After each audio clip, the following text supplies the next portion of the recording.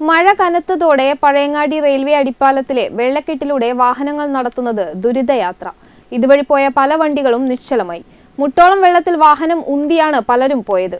ഇനിയും പ്രശ്നപരിഹാരത്തിന് വേണ്ടി കെഞ്ചില്ല എന്ന നിശ്ചയദാർഢ്യമായിരുന്നു പലരുടെയും മുഖത്ത്.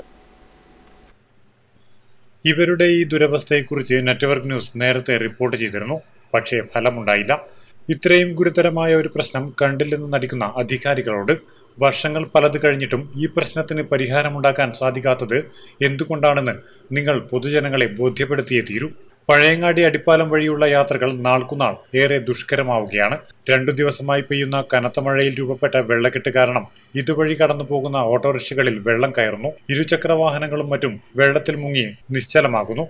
കുഴികൾ കാരണം വാഹനങ്ങൾ അപകടത്തിൽപ്പെടുന്നതും പതിവാകുന്നു.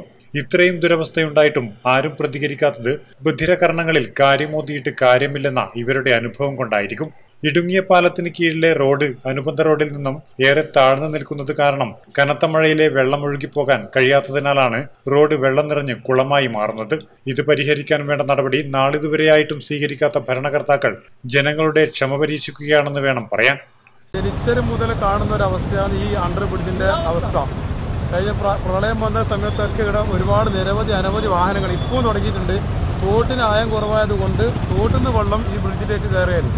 അപ്പോൾ ഇതിന്റെ ഭാഗമായിട്ട് പല പ്രക്ഷോഭങ്ങളും കാര്യങ്ങളൊക്കെ നടത്തിയിട്ട് എം പി ബഹുമാനപ്പെട്ട എം പി പറഞ്ഞു റെയിൽ എന്റെ റെയിൽവേന്റെ ഭാഗത്ത് എല്ലാ കള്ളാസും കേരള സർക്കാരിന് വാങ്ങിക്കൊടുത്തിട്ടുണ്ട് എം എൽ എ പറഞ്ഞു ആറ് കോടി രൂപ പാസ്സായിട്ടുണ്ടെന്ന് പറഞ്ഞിട്ട് ഒരു ഫ്ലക്സും വെച്ചു. അഭിനന്ദനം അറിയിച്ചിട്ട് കൊല്ലം ഒന്ന് കഴിഞ്ഞ് ഇതുവരെ ഇതിനൊരു നടപടി കാണുന്നില്ല. ഇത് ഞങ്ങൾ ദുരിതമാണ്. ഓട്ടോറിക്ഷ തൊഴിലാളികളും ടൂ വീലറും ഇന്ന് വരെ ഒരുപാട് ഇന്ന് രാവിലെ തന്നെ ഒരു പത്ത് മുപ്പത് വണ്ടിയോളം ബൈക്കായിട്ടുണ്ട് അപ്പുറം ഇപ്പോൾ ബൈക്കായിട്ടുണ്ട് ഇതാണ് ഞങ്ങളുടെ അവസ്ഥ.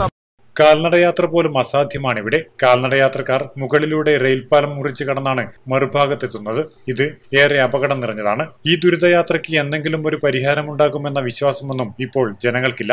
കാരണം അവർ പല തലങ്ങളിൽ നിന്നായി തെരഞ്ഞെടുത്തയച്ചവർക്ക് ഇതിനൊന്നും നേരമില്ലെന്ന് അവർക്ക് നന്നായി അറിയാം. ആർക്കും വരാൻ പറ്റുന്നില്ല. പണിയുണ്ട്. ഇപ്പം ഓരോരാൾ സ്ത്രീകളും കുട്ടികളും എല്ലാം വന്നിട്ട് ഓട്ടോറിക്ഷക്കെല്ലാം ചോദിക്കുമ്പോൾ നമുക്ക് വരാൻ പറ്റുന്നില്ല. വണ്ടിയെല്ലാം ഓഫായിരുന്നു ടൂ വീലർ പോലും ഓഫായിരുന്നു അതുകൊണ്ട് എത്രയും പെട്ടെന്ന് ഇതിനൊരു നടപടി എടുക്കണമെന്നാണ്. Network news Pazhayangadi.